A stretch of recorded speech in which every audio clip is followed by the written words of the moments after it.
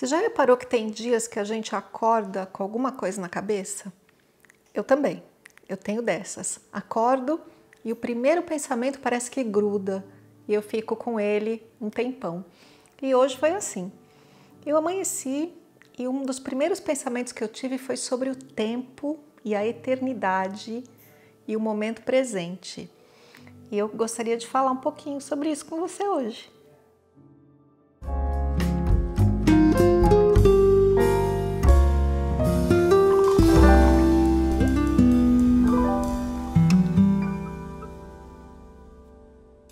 Em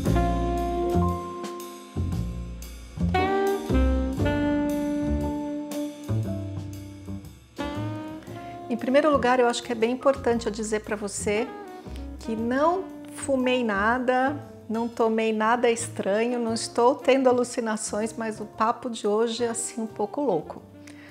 Porque a nossa cabeça é louca mesmo.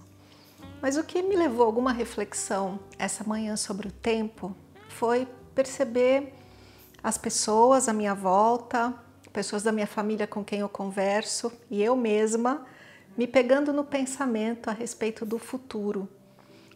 Assim, quando será que isso vai acabar? Quando será que a gente vai poder andar por aí normalmente, viajar, pegar um avião?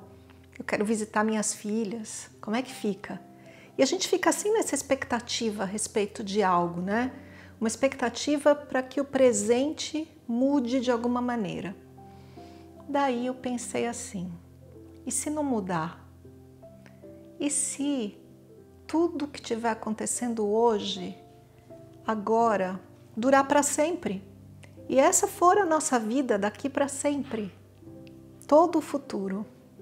Aí eu imaginei aqui, né? Minha casa, as pessoas com quem eu moro, a condição que eu estou vivendo, e pensei: e se for para sempre? E se nunca mudar? tipo uma brincadeira assim comigo mesma. E daí eu fui encontrando a paz dentro do para sempre. Porque se for para sempre assim, eu vou buscar me acomodar nessa situação de fato e não pensar nada a respeito do futuro.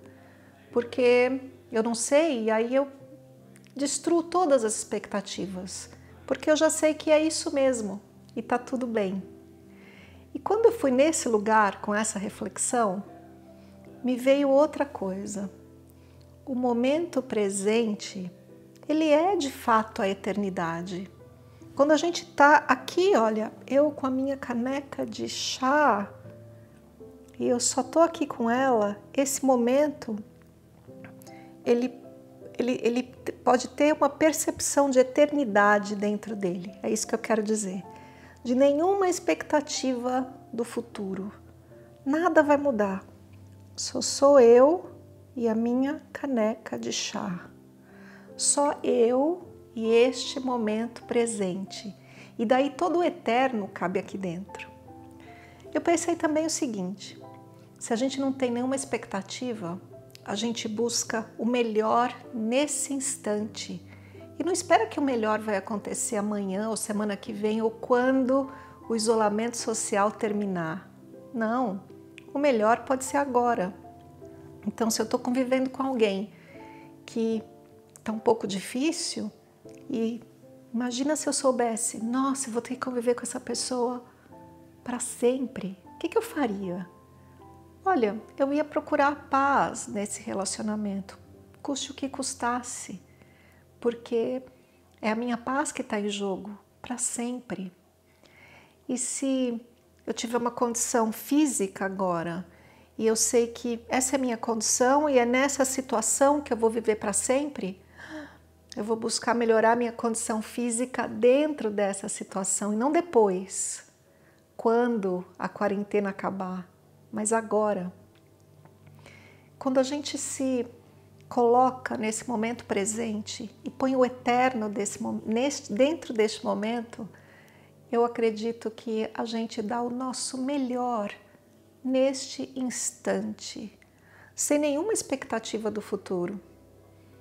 Mas se a gente se aprofundar mesmo nesse pensamento, a pergunta é: e quem disse que existe futuro. A gente não sabe nada mesmo. E talvez, de fato, essa quarentena, isolamento social, dure muito mais do que a gente imagina. Ou talvez termine em uma ou duas semanas. Nós não sabemos. E por que não a gente aproveitar o fato de que não sabemos e destruir todas as expectativas? Não sei quando isso vai terminar e não importa, porque o meu melhor acontece agora. É, essa é a minha reflexão maluca dessa manhã, sem ter fumado nada, sem ter usado nada. É só deixar a cabeça ir por esse caminho. A eternidade no momento presente. E talvez você possa aproveitar o seu sábado e fazer esse exercício. E se tudo que eu vivo hoje for o eterno? É isso aí. Se você gostou das minhas reflexões, comenta aqui comigo, faça a reflexão junto comigo, faça o exercício, veja o que acontece depois me conta.